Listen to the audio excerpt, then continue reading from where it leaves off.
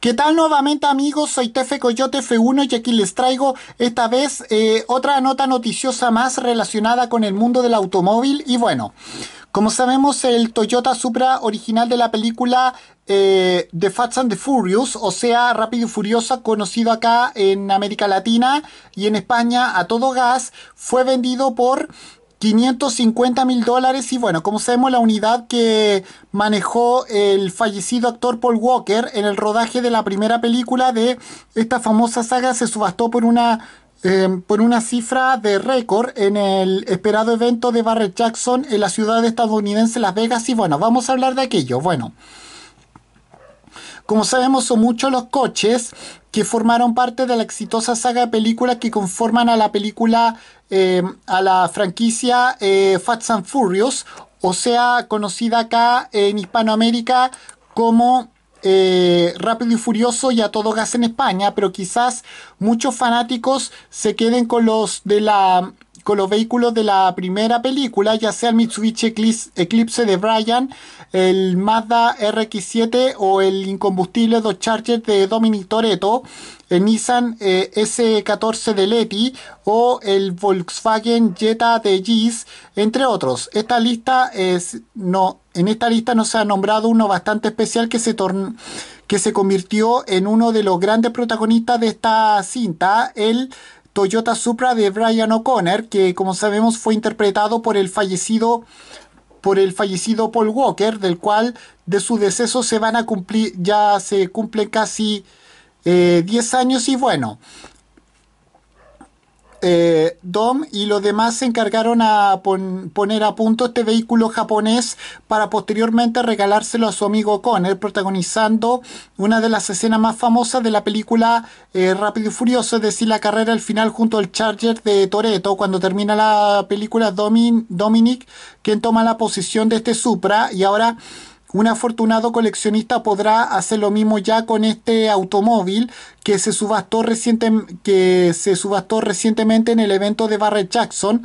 que se celebró los recientes días eh, los recientes días 17, 18 y 19 de junio en Las Vegas, precisamente en Estados Unidos. Una de las ofertas más interesantes de este evento que se cerró con un precio de, de 550 mil dólares, algo así como algo así como 533 millones de pesos chilenos, que lo convierte en uno de los Toyota Supra más caros jamás vendidos, solamente superado por casos como el primer Toyota GR Supra que fue vendido por eh, más de 2 millones de dólares. Bueno, se habla precisamente de una unidad que está en buenas condiciones, que puede presumir de ser el, el vehículo original de la primera película de la franquicia y es que el difunto actor Paul Walker lo condujo en algunas escenas tanto interiores como exteriores que como yo ya le dije anteriormente eh, ya ya ya estamos ya estamos ya estamos a casi 10 eh, años de que se cumplen eh, estamos a casi 10 años de que se cumple de su partida de este mundo. Además este mismo este mismo automóvil participó en la película Too Fast, es decir, la segunda entrega de la famosa franquicia de automóviles y acción, esta vez con una decoración y un propietario distinto. Muchos recordarán su presencia en la carrera, eh, en la carrera clandestina que da comienzo a esta película con Slap Jack, eh, o sea, Mark, Michael Ellie, al volante. No obstante, después de la filmación de esta segunda, de esta segunda entrega, el Toyota Supra eh, volvió a su condición eh, original, la más conocida y querida por el gran público. Bueno, como sabemos, este vehículo japonés presenta una pintura con acabado perlado candy orange eh, de un Lamborghini Diablo con una figura conocida como Nuclear Gladiator en el lateral. el kit de carrocería posee un parachoques delantero y,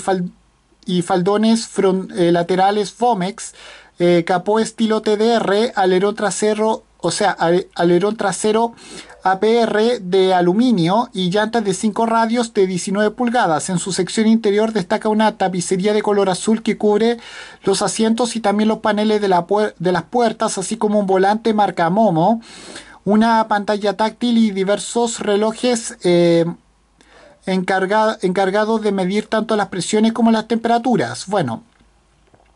a diferencia del Supra de Bryan, esta unidad posee su mecánica original sin modificar. Se habla de un motor eh, de 6 cilindros turboalimentado en línea eh, de 3 litros, el 2JZ GT que tiene como potencia 325 caballos y como par máximo 427 Nm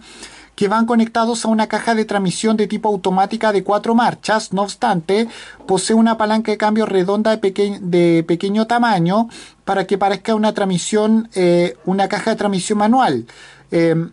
como no podía ser de otra manera, toda la energía es enviada hacia el tren posterior. Bueno, la, venta de este icónico vehículo eh, posee una amplia documentación sobre este automóvil y un certificado de autenticidad.